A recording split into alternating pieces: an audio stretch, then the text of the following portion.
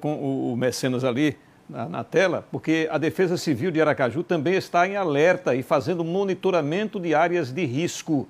Aqui em Aracaju, nas últimas 24 horas, o volume de chuva foi de 50 milímetros. Quem vai trazer mais informações é o repórter Vinícius Mecenas. Olá, Vinícius, boa noite. Olá, Givan, boa noite para você e a todos que nos acompanham aqui no Jornal do Estado. Pois é, viu?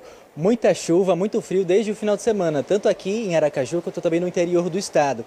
E a gente sabe que com ela, né, com essas fortes chuvas, vem aí uma série de benefícios, né, para os agricultores principalmente, para os açudes que acabam ficando cheios, mas também, né, há esses malefícios e uns riscos também para a população sergipana. E é sobre esse assunto que eu vou conversar aqui agora com o Tenente Coronel, o Silvio Prado, que já está aqui comigo. Coronel, boa noite para você. Bem-vindo ao Jornal do Estado. A Defesa Civil já emitiu um alerta até às 10 horas do dia de amanhã, é isso? Boa noite a todos. De fato, recebeu uma informação do Instituto Nacional de Meteorologia de chuvas volumosas, inclusive é um alerta diferenciado que a gente não costuma receber, um alerta vermelho, chuvas acima de 60 milímetros para o dia ou até 50 milímetros em apenas uma hora.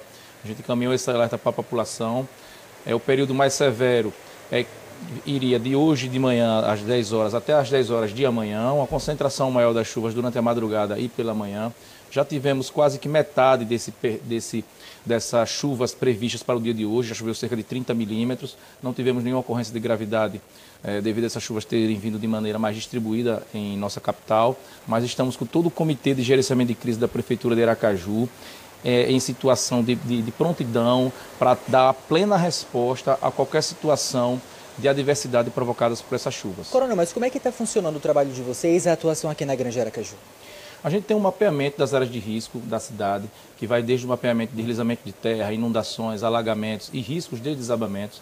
E quando a gente tem um volume de chuvas esperado para a cidade, a gente faz um monitoramento, dando ênfase, dando prioridade às áreas de risco alto e muito alto, principalmente para deslizamentos de terra e riscos de desabamentos, que têm uma concentração maior na Zona Norte. Então a gente tem uma, sempre uma equipe monitorando essas áreas de risco muito alto, porque se houver algum chamado para aquela região, a gente já, já, já está próximo, então tem um tempo de resposta reduzido. Como também, se a gente identificar alguma normalidade, dá tempo ainda de a gente avisar as pessoas, retirar é, as pessoas daquelas áreas de risco para evitar danos humanos e danos materiais. Sem falar da parceria de vocês com a assistência social também, até para dar subsídio a essas pessoas né, que vivem nesses locais de risco. A assistência social faz parte do nosso comitê de gerenciamento de crise. Então, muitas das vezes a gente já faz esse monitoramento junto com a assistência, com a equipe da assistência acompanhando o trabalho da Defesa Civil o tempo todo.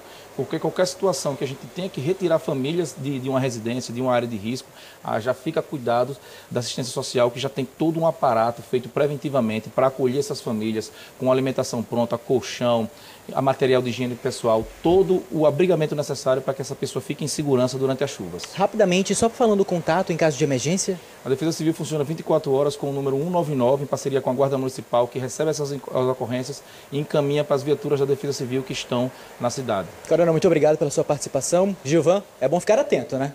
Com certeza, Vinícius. Muito obrigado aí pelas suas informações, viu?